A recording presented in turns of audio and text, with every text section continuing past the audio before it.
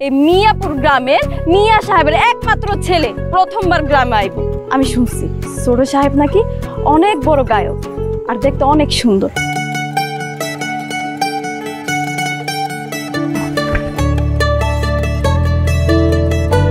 পাখি যেদিন আমি তোমাকে প্রথম দেখেছি সেদিন থেকে আমি তোমার প্রেমে পাগল হয়ে গিয়েছি।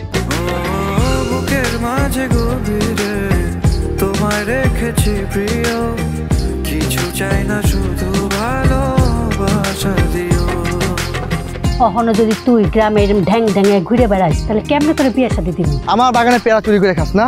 পাখি যখন এসে ফল খাওয়া যায় তখন তো ওই পাখির গিয়ে ধরতে পারো না। আমি পাখি না হয় দুইটা ফল খাইছি। এই থেকে আমার দোষ হয়ে গেল? আমার ভাবতেও অবাক লাগছে যে তুমি আমার ছেলে হয়ে এত নিচে নামতে পারলে। আরে যারা আমার রিসোর্টে কাজ করে এরকম একটা কাজের মেয়ের সঙ্গে তুমি ও বড় সাহেবের নুন খাইছি। ওনার লগে আমি নিমখ হারামি করতে পারব না। আমি তোমাকে তেজ্য পুত্র করব। তোমার এই সব কিছু থেকে আমি নিজে আমাকে তেজ